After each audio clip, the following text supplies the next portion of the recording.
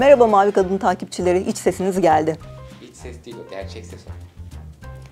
Akşam annemler gelecek ve beni gene bir stres almış durumda. Nasıl söylesem gene surat beş karış eve gelecek çünkü adım gibi eminim. Bıktım bu durumdan. Kaç Oh önce Allah'ım yardım et. Hala öğrenemedin ama. Yani böyle sevdiği güzel bir anını yakalasam. Çok zor, çok zor.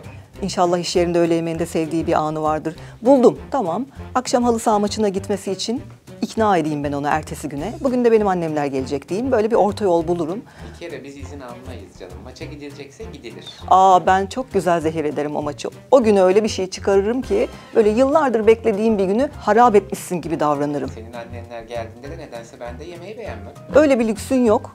Benim annem benden beterdir zaten. Seni o anda bir al aşağı verir. Bütün moralin yerle bir olur ama olan gene bana olur. Arada ben kalırım. Yok ikinizin arasında kalmayayım. Kötü olur. Geri dönüşü revanşı çok kötü olur. Bir orta yol bulmam vallahi lazım. Annene ben gerekeni düğünde söyledim. O- Evime az gelmesi gerektiğini biliyor bence. Ama seninkiler hep geliyor. Ben bir şey söylemiyorum. Tabii benimkiler Her gelecek. zaman geliyorlar, gitmek bilmiyorlar. Zaten laf sokuşturup duruyorlar. Bir de onlar da ayrıca yani. Ama o bahsettiğin düğün salonu sayende ve ablanın böyle çay kaşığı gibi ortayı karıştırması neticesinde bir düğün salonu olmuştu hatırlarsan. Oralara hiç girmeyelim, çıkamayız oralara girersek. Masrafı da onlar yaptı ama. Masraf dediğin ne Allah aşkına kokteyli düğün yapacağız dediniz. Bardakların içinde iki tane havuç salatalık. Düğüne gelen herkes eve gidip peynir ekmek yedi. Aç döndü millet herkes düğünden. Fotoğrafları herkese dağıtırken iyiydi ama. Aman o fotoğraflarda görünene ne bakıyorsun sen? Millet midesi gurul gurul döndü eve. İki tane salatalık suyun içinde neymiş efendim kokteyli dün. Bir de Pınar herkesi çağırmayalım. Aman işte yakın dostlarımızı seçelim. Ona göre işte kişi sayısı belirteceğiz. Onun için mi seçtik? Bileydik bari. Millet cüzdanında şey getirseydi.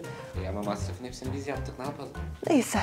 Neyse ben daha fazla gerilmeyeyim artık. Şu akşamı bir atlatayım da o tarafa gelmeyin diyemiyorum. Bu tarafa kocam işten gelince kimseyi evde istemiyor diyemiyorum. Benim toplantılarım var yalnız bu akşam geç geleceğim ben. Ama hiç olmaz şimdi. Olur mu? Ben sana işim gücüm var deyince aa annem surat asar sensiz gidemem diyorsun. Ben her işimi iptal edip geliyorum. Bana gelince niye böyle oluyor? 40 yılda bir geliyor insanlar eve. Ha, ben babama anneme ne diyeceğim şimdi? Kıymet verip gelmişler. Benim annem ayrı, seninkiler ayrı. Benim Olur mu canım öyle şey? Ay ay ne yapsak? Nasıl bir çözüm bulsak? Neyse ben ona şöyle söyleyeyim. O zaman zaten 2-3 gün sonra yakın zamanda kandil falan da olur, bayram da olur. İlk önce senin annene gideriz diyeyim. Çok mantıklı. Zaten Tamam. her zaman ilk önce benim anneme. Tamam ilk önce onunkine gidelim daha iyi. Biraz görürüz. Benim anneme geçtiğinde daha uzun süre kalmış oluruz. Böylelikle daha iyi olmuş olur. Daha çok vakit geçiririz.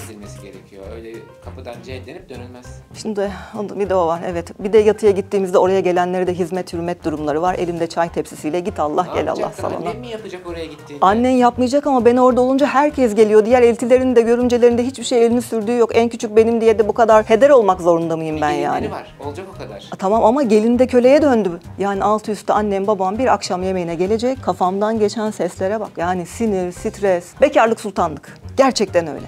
Niye bekar kalmadın o zaman? İşte o yıllarda şimdiki aklım yoktu. Bu aklı gençliğin başına koymak lazım. Yaşlanınca tecrübe oluyor. Ne demişler? Tecrübe kel kaldıktan sonra tarak bulmandır. Aynı hesap.